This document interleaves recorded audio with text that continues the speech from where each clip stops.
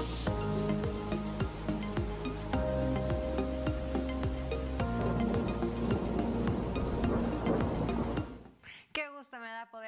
Saludarlo de nueva cuenta. Regresamos con toda la información del pronóstico del tiempo para que usted esté muy bien informado de lo que nos espera para esta jornada, para los próximos cinco días. La temperatura máxima para este lunes alcanzando los 33 grados centígrados con un cielo mayormente soleado, pero hay escasa nubosidad.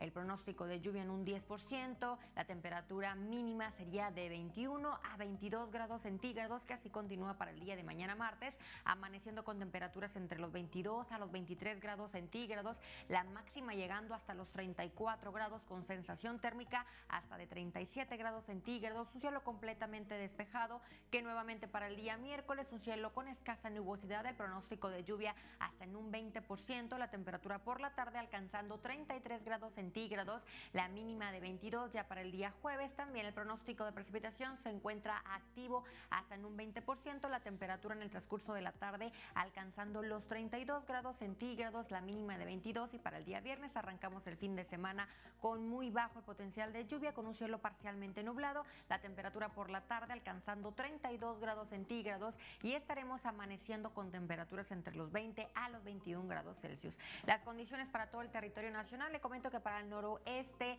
de Baja California Sur nuevamente se presenta una tormenta tropical llamada Marty y esto también viene ligado con la onda tropical número 20 de la temporada y eso mismo va a traer inestabilidad en el ambiente.